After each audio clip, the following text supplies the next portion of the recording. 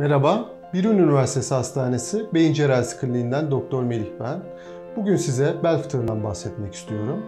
Bel fıtığı, bel omurları arasındaki diskin zorlama, ağır kaldırma, kilo, e, hareketsizliğe bağlı yırtılarak omurilik kanalına taşmasına bağlı oluşan bir hastalıktır.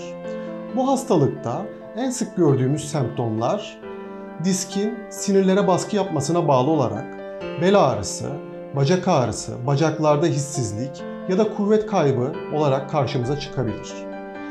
Bel ağrısıyla tarafımıza başvuran hastalarda ilk önce ilaç ve egzersiz tedavisi uyguluyoruz.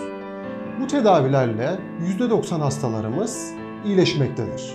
İyileşmeyen, ağrıları devam eden hastalarda, e, kuvvet kaybı olmayan hastalarda ilk önce radyo frekans tedavisi uyguluyoruz.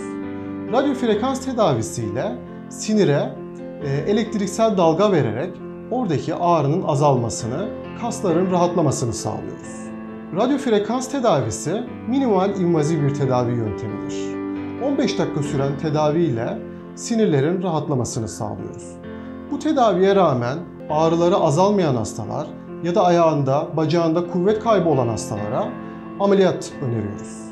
Mikro cerrahi ile yaptığımız ameliyatlarımız 45 dakika sürmektedir. Hastalarımızı spinal anestezi ile e, ameliyatını yapıyoruz. Ameliyattan 4 saat sonra hastalarımızı mobilize ediyoruz. Bir gün sonra evlerine taburcu ediyoruz. Hastalarımızın mesleğine, işinin ağırlığına göre 2 ya da 3 hafta dinlenmelerini öneriyoruz. 3 hafta sonra işe başlayan hastalarımızın 2 ay sonra da spora başlamalarını öneriyoruz.